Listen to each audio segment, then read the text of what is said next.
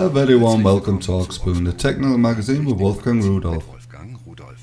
Hello and welcome. Today is about a theme, coating thickness measurement. Coating thickness measurement measuring describes itself really. You measure the thickness of some sort of coating. How you measure the thickness of something like the thickness of paper or whatever, we all know. This is when it is in small areas, you just take a caliper gauge and to measure the object, clamp in and read the results. Years ago you had to read the numbers, nowadays you have a digital display. When, when it is thinner, for example I have brought along my magnet card from my old pocket calculator, then it gets difficult when you want to read. This it is a little inaccurate, but you could take a micrometer where you come into the thousandster area and when you then measure then you have to try to read the result here using the lines how thick the measured object is. That is all possible when though for example on a finished piece, on a metal plate which is coated, on a large circuit board or anywhere for example something like this, want to measure, have we here the right thickness, the copper coating or the right thickness of the lac, then it gets difficult. I can't just go into it with the caliper or if you maybe have seen how an expert measures a vehicle if in case it has had an accident or something and has been repainted. Because then the lacquer thicker is. How do you do that is a very interesting story and I will try to explain a little bit how it can work, how you can measure something without even taking it into your hands.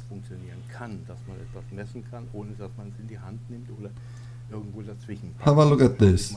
I've brought my bed with me for my mobile phone. It lays on a black case and this black case when I take this away is a so-called QI adapter where it is inductive loaded. For this also my telephone has to be able to do this. On here I have a so-called coil that is what it looks like in the telephone little and fine. It is a previous model. This is laid on here and inside are electronics. They make voltage and my battery is loaded. Because inside of this black piece is also a coil. And that is the principle of a transformer. A magnetic field is built up and demolished again up and down all the time. A voltage is made in a receiving coil, balanced and so forth. This has no iron core. A transformer has naturally an iron core. It looks like this. Years ago this was done, nowadays it is done differently. And here you can see something very interesting. The iron core here is laminated. It consists out of thin sheets and not from a massive core. Why? Very simple through the magnetic field, building up of the magnetic field in the iron, an eddy current is made. And this eddy current causes losses. That is why they have cut the iron core into very thin sheets to become many small eddy currents, to have less losses as by a thick one. And this effect is not wanted by the coating thickness. We want these losses. And how do we find out if anything is in there? First of all, you have to decide between iron and not ions. Both have to be measured, and for both you use different processes. I have done a small trial, maybe it'll work here. I have here a cooling body out of some old computer and this cooling body has no wires or is not a coil or so, just a piece of metal. And when I lay it onto the loading device and have a look at this small USB measuring device and you can see in the blue area how the electricity flows.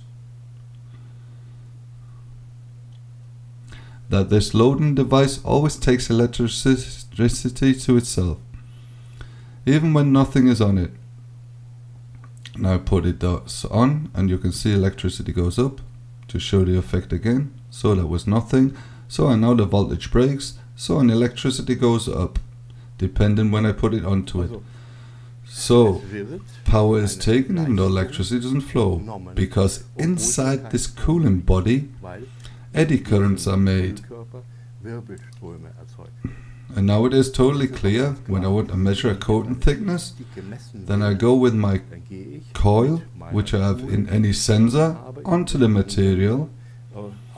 Inside the coil a magnetic field is made, it is sent out and in the material an eddy current is generated and through the coil more electricity flows through. That is totally inaccurate. The measuring devices today are high precision. You can up to 0.1 mu coating thickness measure. What in millimeter is we know that a meter is around that. A millimeter is a thousandth of that. You can see this on the caliper. When I show you the gap, you can see this. Approximately here you can see the gap there. That is one millimeter. And from this a thousandth of a mu and from this a tenth. That is what these devices resolute. Insane technique and uses is so child easy I was thrilled I have here a measuring device, the CTE65 from PCE, a small device which is easy to take with you to put in your trouser pocket, even though there's a nice case with it. We can have a look at that in a minute. And with this I can measure coating thickness. I'll just show how simple it is. It turns itself automatically round when it is so set onto the material recognition.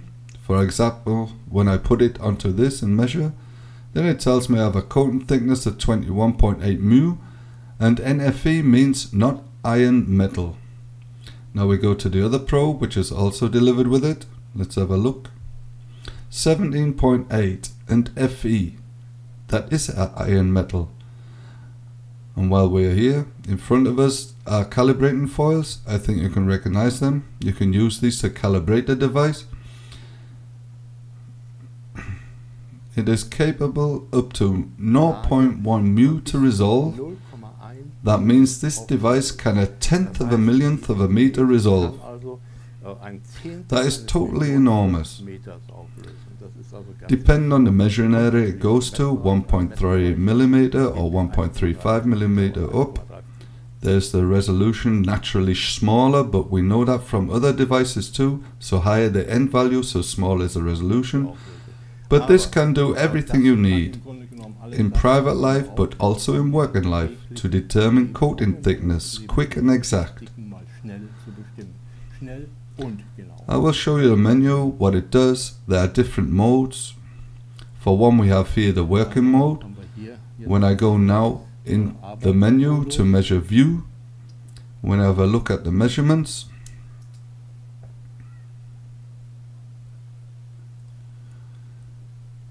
and can change to the group 10. I have many measurements in there. Confirm it. I get measurements shown. Oh, I came to group 1, but that doesn't matter. There are also measuring values in there. That is the first measurement, not iron metal, 22.2 mu. The second one is iron, 11.6 and so forth. I can in these groups 50 measured values store and later call them up and can start 30 groups for one day's work it should be enough. When I want to further process this data, a USB cable is delivered with it. You connect it to a computer as well as a delivered software. It has to be installed.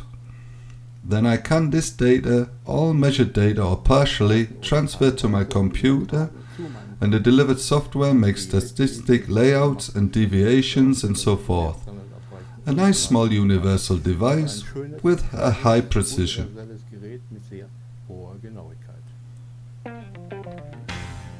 A high professional measuring device to measure coating thickness from PCE, the CTE100, I have it here stood on my table. It is delivered first without any sensors because there are so many different sensors for so many different usages. They differentiate themselves depending on if you want to go around corners, angle sensors or anything else as well as the resolution of the area you want to measure. And the sensor here that is a FN 1.5 and it is simply at the bottom connected and then I can freely go everywhere I want to measure. Like here on my probe jail, it is aluminium what I have here. Then I get it shown up there. When I go onto here, that is iron, also there. That means we see that I can move totally freely here with this measuring head. Im Grunde genommen hier mich ganz frei mit dem äh, Messkopf bewegen kann. The device is thought for everywhere in the testing world, testing goods received in all areas where the quality of coat and thickness from anything, if with iron or without iron pieces, it doesn't have to have something to do with iron. If it is lacquer layered on metal or metallic, covering or whatever, the usage is varied. It always depends on the user. So as with a car, you can drive all over the place but you can't expect the manufacturer to know where you want to go. You have your own ideas, just like such measuring devices.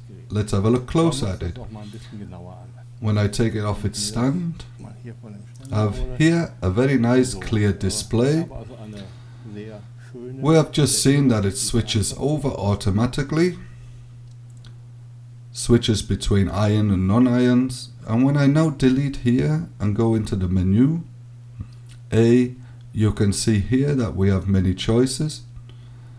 For one, calibrate option, if it should turn itself off, if the black lighting should be on many different applications, contrast and so forth.